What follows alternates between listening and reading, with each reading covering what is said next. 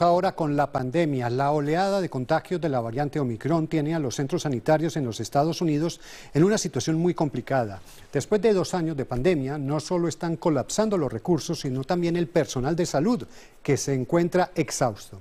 En Chicago, David Palomino estuvo en una unidad de cuidados intensivos y nos tiene el informe de lo que allí se vive a diario. Estados Unidos vive la peor crisis hospitalaria desde que empezó la pandemia. En tan solo una semana, casi 146 mil pacientes han sido hospitalizados. ¿A dónde vamos ahora? Ahorita vamos al departamento de cuidados intensivos, ICU. Tuvimos acceso a la unidad de cuidados intensivos del Hospital Norwegian en Chicago. Aquí ustedes van a ver lo difícil que es, como se dan cuenta, todos los cuartos están llenos.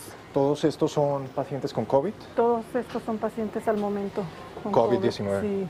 Todas las camas ocupadas la mayoría de pacientes conectados a un ventilador y aferrados a un milagro. Ya son más de dos años de pandemia.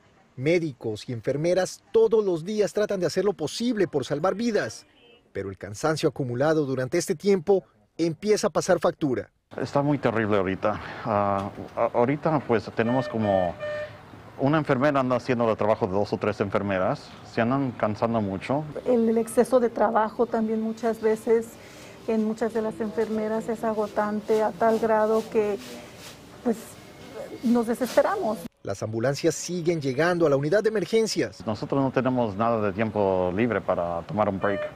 Adentro, una persona muere y al instante alguien más ocupa su lugar. Todos los cuartos de terapia intensiva ya están ocupados por pacientes.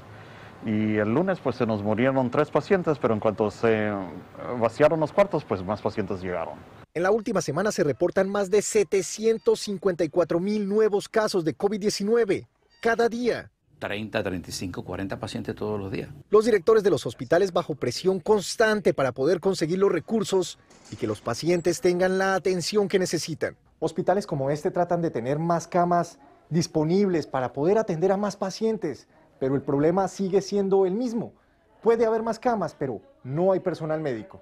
Muchas enfermeras ahora ofrecen sus servicios por medio de agencias y la demanda ha aumentado. 150, 180 dólares la hora por una enfermera.